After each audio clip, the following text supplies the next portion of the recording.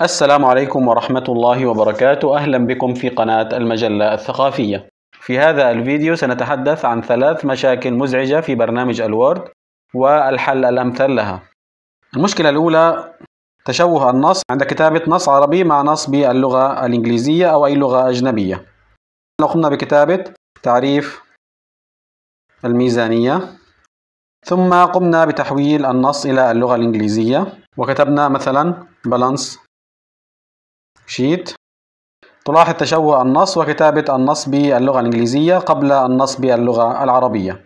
لحل هذه المشكلة نذهب إلى علامة تبويب الشريط الرئيسي أو هوم. ثم من مجموعة فقرة نذهب إلى اتجاه نص من اليمين إلى اليسار. هذه الأداة ونقوم بالنقر عليها. ثم نذهب إلى محاذاة إلى اليمين. نلاحظ أنه تم حل المشكلة. مرة أخرى الآن لو قمنا بكتابة مثلا تعريف الموازنة. كتبنا باللغة الإنجليزية. budget. مثلا هي القائمة التي تختص. تلاحظ أنه تم حل المشكلة.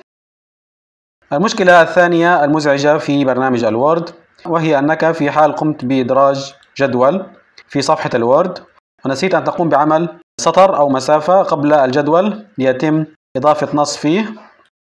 ستلاحظ عدم القدرة على الكتابة. توجد عدة حلول. أبسطها وأسهلها هي أن تقوم بوضع المؤشر في أي مكان في الصف الأول للجدول. ثم تذهب إلى علامة تبويب تخطيط أو Layout. ومن مجموعة دمج أو ميرج تختار تقسيم جدول. نقوم بالضغط عليه. تلاحظ أنه تلقائيا تم إنزال الجدول إلى الأسفل وفتح سطر جديد. لا نستطيع أن نقوم بكتابة ما نريد قبل الجدول مثلا علامات طلاب. بهذا الشكل. المشكلة الثالثة وهي صعوبة تحريك وترتيب الجداول في صفحة برنامج الوورد. عندنا هذه الجداول. الآن لو أردنا أن نضع هذا الجدول بجوار هذا الجدول بهذا الشكل تلاحظ تشوه الجدول الأول. وعدم إمكانية وضع الجدول بجواره كما تلاحظون. بالإضافة لصعوبة تحريك الجدول والتحكم فيه. والحل لهذه المشكلة هو أن نقوم بإدراج الجدول داخل مربع نص ليسهل تحريكه ووضعه في أي مكان تريده وذلك من خلال الذهاب إلى علامة تبويب إدراج ومن مجموعة نص نقوم بإدراج مربع نص بهذا الشكل ثم نقوم بالنقر على حدود مربع النص ونذهب إلى تبويب تنسيق الشكل. ومن مجموعة أنماط الشكل نختار إطار الشكل بدون إطار. ثم نقوم بتضليل محتوى مربع النص ونقوم بحذفه من خلال الضغط على ديليت ثم نتأكد من وجود مؤشر الكتابة داخل مربع النص. ونذهب إلى علامة تبويب إدراج ثم نقوم بإدراج الجدول بالشكل الذي نريده مثلا بهذا الشكل ونقوم بتكبيره للحجم الذي نريده ثم نقوم بإدراج صفوف إذا أردنا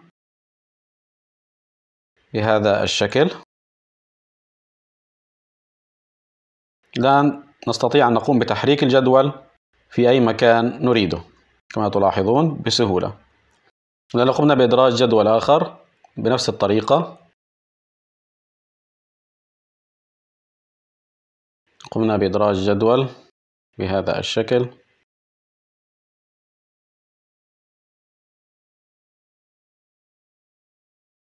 لو قمنا بتحريك الجدول وأردنا أن نضعه بجوار الجدول السابق. ستلاحظ أنه يتم تحريكه بكل سهولة كما تلاحظون حتى أننا يمكننا أن نضع الجدول فوق جدول آخر بهذا الشكل كما تلاحظون. نستطيع أن نضعه في أي مكان نريده. نستطيع أن نقوم بتعبئة الجدول أو إضافة أي صفوف جديدة نريدها. بهذا الشكل نستطيع أن نقوم بتحريك الجداول كما نشاء. ووضعها في المكان الذي نريده. مثلا لو أدرجنا جدول آخر من خلال نسخ هذا الجدول يمكننا أن نضع الجداول في أي مكان نريدها بجوار أي جدول نريده. أشكر لكم حسن استماعكم وأرجو أن تكونوا قد استفدتم من هذا الفيديو. السلام عليكم ورحمة الله وبركاته.